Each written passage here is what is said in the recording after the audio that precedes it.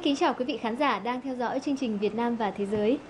Thưa quý vị, một Việt Nam yêu chuộng hòa bình, tích cực hội nhập và là thành viên có trách nhiệm của cộng đồng quốc tế là hình ảnh mà Ngoại giao Nghị viện Việt Nam đang cùng với ngành ngoại giao nói chung nỗ lực xây dựng. Và một trong những hoạt động đối ngoại lớn và được xem là có hiệu quả nhất của Ngoại giao Nghị viện Việt Nam nhằm quảng bá hình ảnh này là việc tham gia Liên minh Nghị viện Thế giới IPU. Liên minh Nghị viện Thế giới là tổ chức hợp tác liên nghị viện lớn nhất toàn cầu, là diễn đàn đối thoại quan trọng của các nghị sĩ nhằm trao đổi và đề xuất các giải pháp về hòa bình, an ninh, hợp tác, phát triển giữa nghị viện các nước. Gia nhập IPU, Việt Nam có thêm cơ hội giao lưu hợp tác và chia sẻ kinh nghiệm với các nước trên thế giới, cùng phấn đấu vì hòa bình, hợp tác và phát triển giữa các dân tộc. Đồng thời, bạn bè quốc tế cũng thông qua diễn đàn này hiểu biết hơn về đất nước, con người và nền văn hóa của Việt Nam. Nhân kỷ niệm 35 năm Việt Nam tham gia IPU và chào đón sự kiện quan trọng của Ngoại giao Nghị viện Việt Nam, đó là việc đăng cai tổ chức Đại hội đồng Liên minh Nghị viện Thế giới lần thứ 132 vào tháng 3 năm 2015 sắp tới. Trong chương trình Việt Nam và Thế giới hôm nay, chúng tôi mời quý vị cùng nhìn lại sự tham gia và những đóng góp của Việt Nam vào hoạt động chung của tổ chức này. Và tham gia chương trình với chúng ta ngày hôm nay xin được giới thiệu Đại sứ Ngô Anh Dũng, ờ, nguyên Phó chủ nhiệm Ủy ban Đối ngoại của Quốc hội các khóa 10, 11 và 12. À, ờ, ông cũng là Ủy viên Ban chấp hành IPU từ năm 2007 đến năm 2011. Dạ, xin được cảm ơn ông đã tham gia chương trình ngày hôm nay cùng chúng tôi. À, trước tiên thì xin mời quý vị cùng đến với phần tổng hợp của chúng tôi ngay sau đây để hiểu hơn về Liên minh Nghị viện Thế giới IPU cũng như chặng đường 35 năm của Việt Nam tham gia với tư cách là thành viên IPU.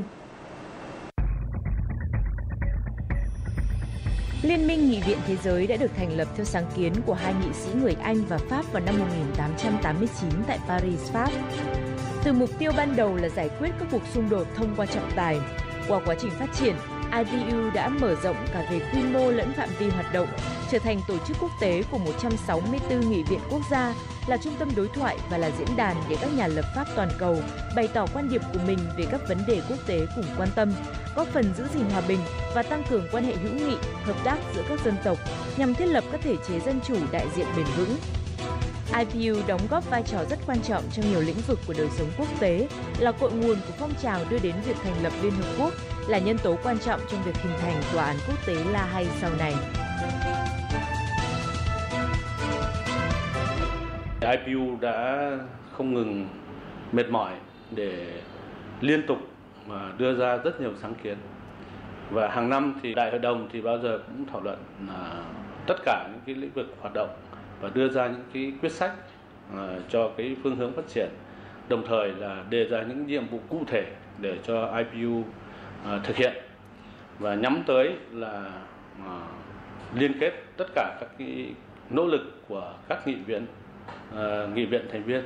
Và chúng ta thấy rằng là cái sự lớn mạnh ừ, không những về số lượng thành viên rồi cái số lượng uh, cuộc họp của các ủy ban chuyên trách của IPU nhưng đồng thời uh, IPU đã phát triển về những cái nội dung um, rất là chất lượng nó liên quan đến cái vận mệnh hòa bình liên quan đến vận mệnh dân chủ liên quan đến sự nghiệp phát triển uh, của các uh, không những của nghị viện các nước nhưng mà của các nước của các khu vực và của toàn bộ thế giới Quốc hội Việt Nam gia nhập IPU vào năm 1979 là một thành viên tích cực và có trách nhiệm của IPU trong 35 năm qua. Quốc hội Việt Nam đã tham gia các hoạt động của IPU theo tôn chỉ mục đích chung của tổ chức này và không ngừng đẩy mạnh quan hệ với các nghị viện và các dân tộc trên thế giới. Chủ tịch Quốc hội Việt Nam đã đi dự hội nghị cấp cao các vị đứng đầu cơ quan lập pháp các nước trên thế giới lần thứ nhất vào năm 2000 và lần thứ hai vào năm 2005 và Phó Chủ tịch Quốc hội đã đi dự hội nghị cấp cao Nghị viện toàn cầu lần thứ ba vào năm 2010. Nghị viện các nước đã bầu đại diện của Quốc hội Việt Nam làm đại diện cho nhóm nước châu Á-Thái Bình Dương nhiệm kỳ 2010-2011 và Ủy viên Ban chấp hành IPU nhiệm kỳ 2007-2011 và Phó Chủ tịch IPU vào năm 2009. Khi mà đất nước bắt đầu đổi mới và đặc biệt là sau năm 2000 có thể nói là hoạt động của Việt Nam bắt đầu khởi sắc tại Liên minh Nghị viện Quốc tế. Cái thứ nhất là mình chia sẻ những cái kinh nghiệm và cái hoạt động thực tiễn của Quốc hội Việt Nam. À, góc độ thứ hai tức là chúng ta cùng với các cái nghị viện của các nước xây dựng và đề ra những cái chương trình à, cũng hành động cũng như là chiến lược phát triển trong những lĩnh vực mà liên minh nghị viện quốc tế quan tâm. À, chúng ta không những tham gia đầy đủ các cái ủy ban của à, đại hội đồng liên minh nghị viện quốc tế nhưng đồng thời chúng ta cũng đã bắt đầu tham gia vào các cơ chế lãnh đạo của IPU.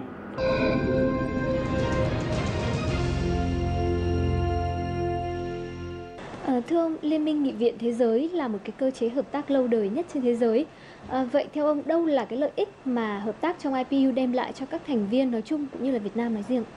Vâng đúng là Liên minh Nghị viện Thế giới mà gọi tắt là IPU thì được thành lập rất là lâu rồi. Nó thành lập trước Liên Hợp Quốc 56 năm cơ.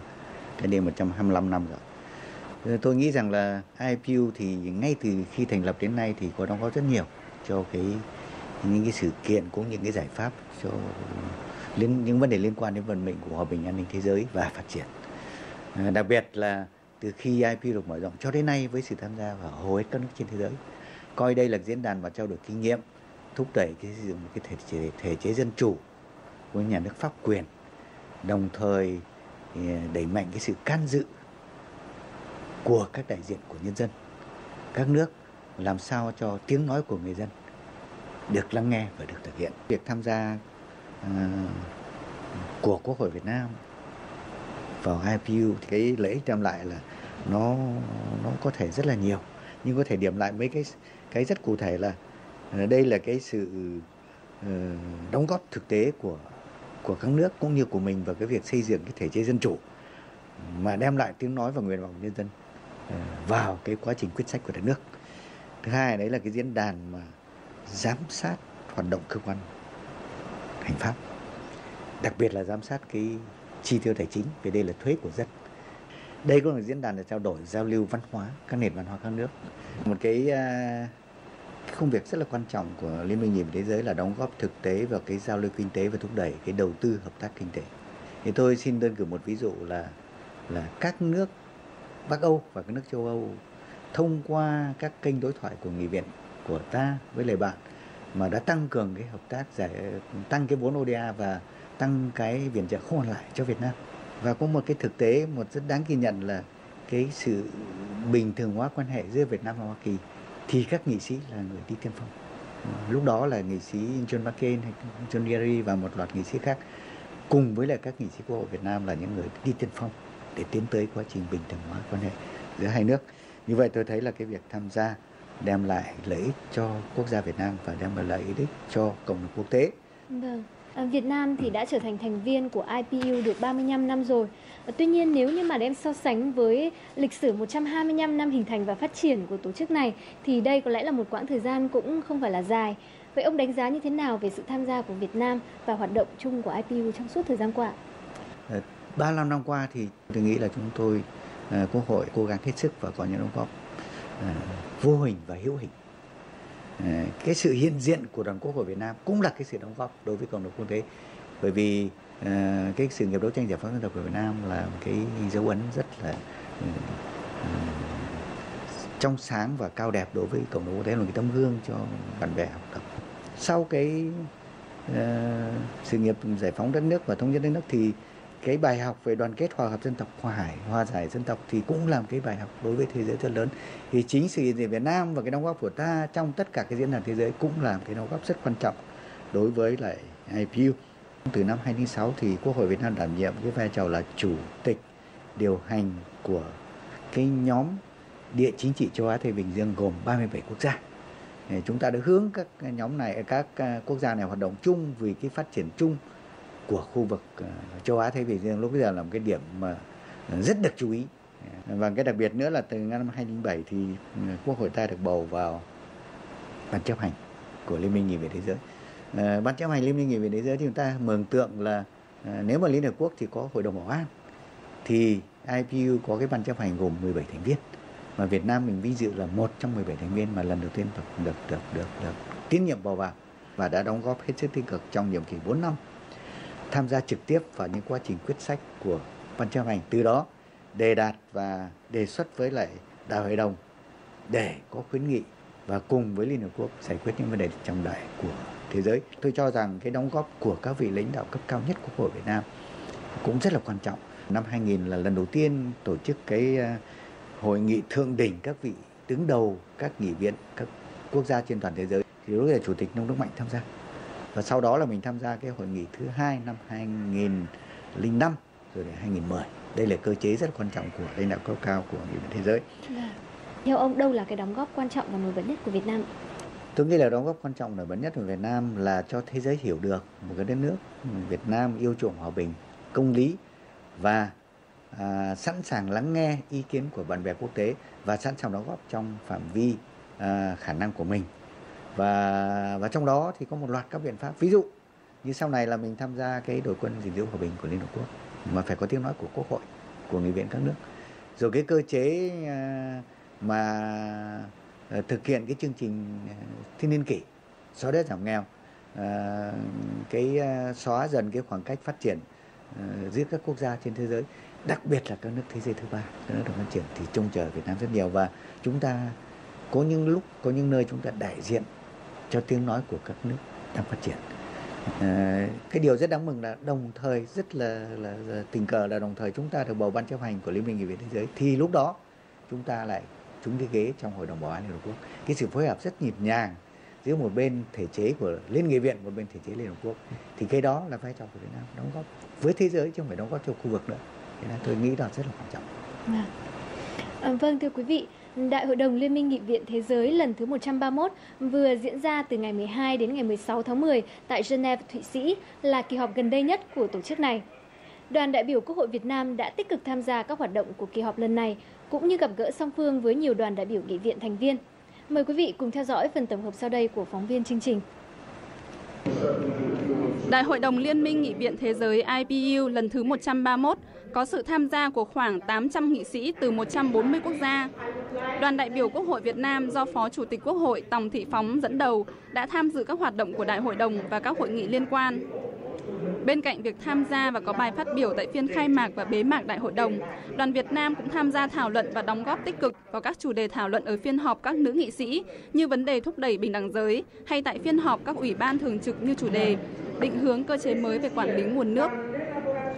Đoàn Quốc hội Việt Nam đã đề xuất chủ đề của Đại hội đồng IPU 132 là Nghị viện và việc thực hiện chương trình phát triển bền vững sau 2015 với mong muốn tạo cơ hội cho nghị viện các nước cùng chia sẻ những quan điểm, ưu tiên của quốc gia về vấn đề phát triển hậu 2015,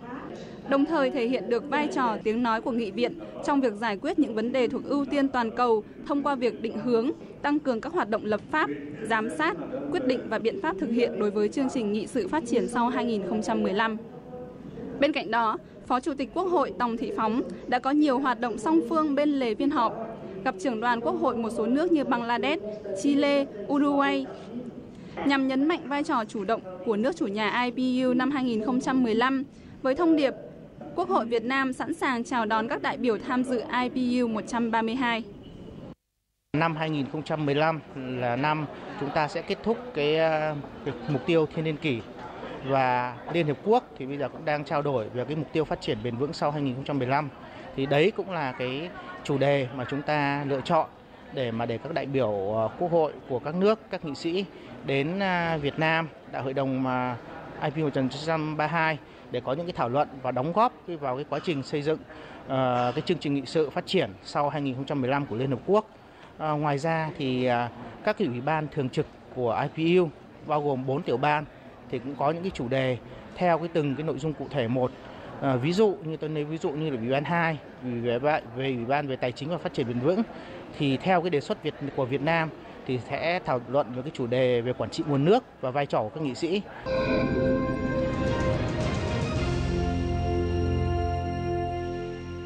Thưa ông, tại à, Đại hội đồng Liên minh Nghị viện Thế giới IPU lần thứ 131 vừa qua, thì Việt Nam đã cùng với Bhutan đề xuất một cái chủ đề thảo luận à, đó là định hướng cơ chế mới về quản trị nguồn nước, thúc đẩy hành động của các nghị viện. À, ông đánh giá như thế nào về cái à, đề tài để cái đề xuất à, chủ đề thảo luận này ạ? Tôi nghĩ là cái đề xuất này nó rất là phù hợp và đáp ứng được đúng cái nguyện vọng và cái bức xúc hiện nay của nhiều nước trên thế giới. Nhất là cái việc mà tham gia quản lý, bảo vệ nguồn nước mà chúng ta liên quan đến nguồn nước sông Mekong, ví dụ như thế. Hay khu vực châu Âu là cái sông Danube, hay là khu vực châu Phi là cái vực bảo vệ nguồn nước cho toàn bộ cái vùng bán đảo châu Phi mà nó rất phụ thuộc vào cái việc ờ, tưới tiêu phục vụ phục vụ cho nông nghiệp. Cho nên là khi Việt Nam đưa ra cái chủ đề này cùng với Bhutan được Bhutan hỗ trợ tối đa và hai nước đồng lòng nhất trí đưa lên, thì ờ, các nước hoàn toàn ủng hộ vì nó đúng là cái vấn đề mà mà thế giới quan tâm trong cái lúc mà chúng ta cùng nhau bảo vệ môi trường cùng nhau thực hiện thắng lợi cái mục tiêu thiên niên kỷ rồi tiến tới những cái biện pháp mà uh, thực hiện tốt hơn để bảo đảm cái sự phát triển bền vững của quốc gia trong hiện nay. Chúng ta cũng đã đề xuất chủ đề cho kỳ họp uh, tới là kỳ họp IPU 132 và chủ đề đó chính là nghị viện và việc thực hiện chương trình phát triển bền vững sau năm 2015. Yeah. Ông nhận định như thế nào về cái chủ đề này? Tôi nghĩ là cái chủ đề đó là chủ đề rất là sát sườn nó là cái song hành giữa cái cái uh, mục tiêu của Liên Hợp Quốc với lại người Việt vì đây là cái thể hiện cái sự nhất trí cao uh, thể hiện cái uh, mình nói là cái ý chí nhân dân được Liên Hợp Quốc và Liên và Liên minh nghị viện đồng thời cùng cùng thực hiện và trách nhiệm uh, của tất cả quốc hội các nước trên thế giới sẽ tham gia. Vâng. À, các chuyên gia cũng đánh giá rằng ở cái thời điểm năm 2015 khi mà chúng ta phải tổng kết lại các mục tiêu thiên niên kỷ và lại xác định được cái mục tiêu sắp tới thì cái chủ đề này nó cũng rất là à, phù hợp thời sự và nó cũng rất là cần thiết cho các nước. Ông nghĩ thế nào? Cái đó hoàn toàn đúng. Bởi vì đây cũng là gì chúng ta cũng nghe lắng nghe ý kiến của của các đại biểu trên thế giới. Họ đánh giá về quá trình mà người ta thực hiện mục tiêu thiên niên kỷ thế nào, về tiến tới những bước tiếp theo như thế nào để mình cũng học tập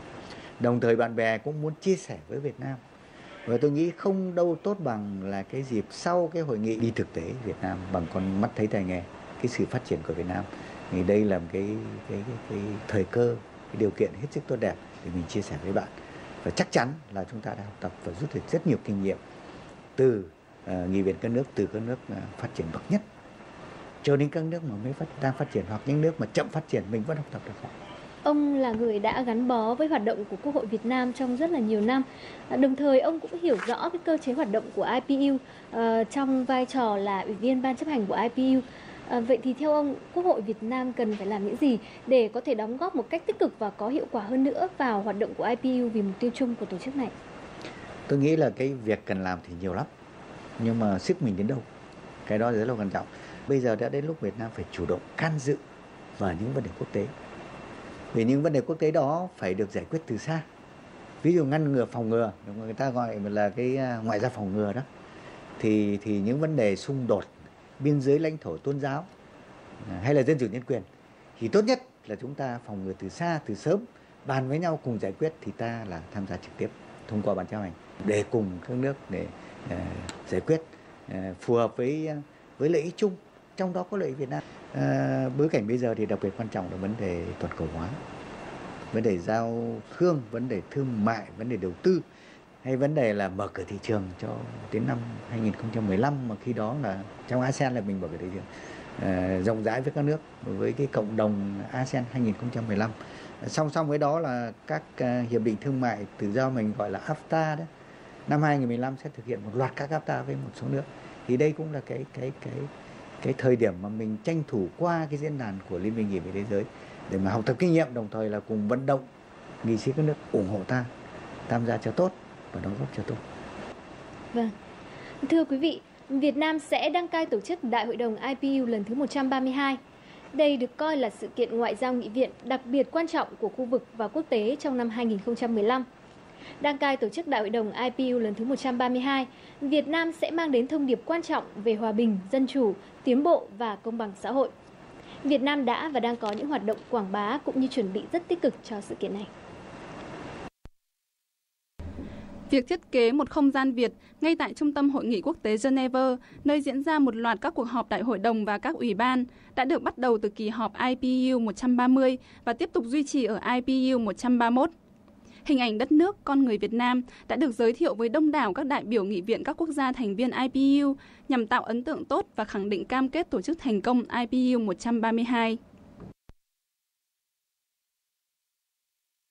Cùng với đó, Ban chỉ đạo cấp nhà nước về IPU 132 cũng đã có nhiều phiên họp nhằm theo sát và kịp thời chỉ đạo công tác chuẩn bị sự kiện này. Theo Ban chỉ đạo, công tác chuẩn bị sơ bộ đã cơ bản hoàn thành. Sắp tới, các đoàn đại biểu Liên minh Nghị viện Thế giới sẽ tiếp tục đến Việt Nam hỗ trợ công tác chuẩn bị cho IPU. Trong cái ban tổ chức ấy, thì à, có 5 cái tiểu ban phụ trách 5 cái lĩnh vực chính à, mà cái công tác à, tổ chức của IPU phải được triển khai. Đó là công tác nội dung và sự tham gia của đoàn Việt Nam, công tác thông tin tuyên truyền, công tác hậu cần tài chính, công tác an ninh y tế và công tác thông tin tuyên truyền. Thế thì các cái tiểu ban đã xây dựng các cái à, kế hoạch cụ thể, các cái đề án và theo theo theo đánh giá của tôi thì à, công tác chuẩn bị đến bây giờ cũng đã đạt theo đúng những tiến độ đã đề ra. Chúng tôi đã sẵn sàng ờ, cho cái sự kiện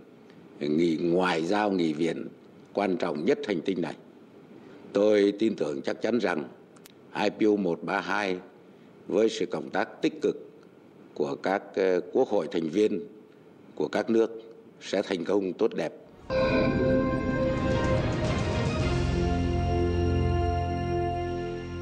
Theo ông thì việc Việt Nam đăng cai tổ chức Đại hội đồng Liên minh Nghị viện Thế giới IPU lần thứ 132 sắp tới đây thì có ý nghĩa như thế nào đối với Việt Nam nói chung cũng như là đối với nền ngoại giao nghị viện của Việt Nam nói riêng? Tôi cho rằng đây là một cái sự hết sức quan trọng bởi vì nó không chỉ đối với quốc hội. Có lẽ lần đầu tiên Việt Nam mình, quốc gia mình à, tổ chức sự kiện lớn như thế. Ờ, chỉ có thể hình dung là với một lúc có khoảng 1.500 đại biểu quốc tế đến Việt Nam cùng một lúc, với khoảng ít nhất trên 100 chủ tịch thượng viện và hạ viện các nước, các vị lãnh đạo cấp cao nhất của cơ quan lập pháp các nước đến Việt Nam. Như vậy là là một cái cái cái dịp cơ hội, cái cái cái rất hiếm có. Mình có thể giao lưu trực tiếp với 166 quốc gia ngay tại trên đất nước Việt Nam. Thông qua đó mình có thể giới thiệu về cái nền văn hóa Việt Nam thực tế Việt Nam đất nước con người với 166 quốc gia, ít nhất là như vậy, tại Việt Nam.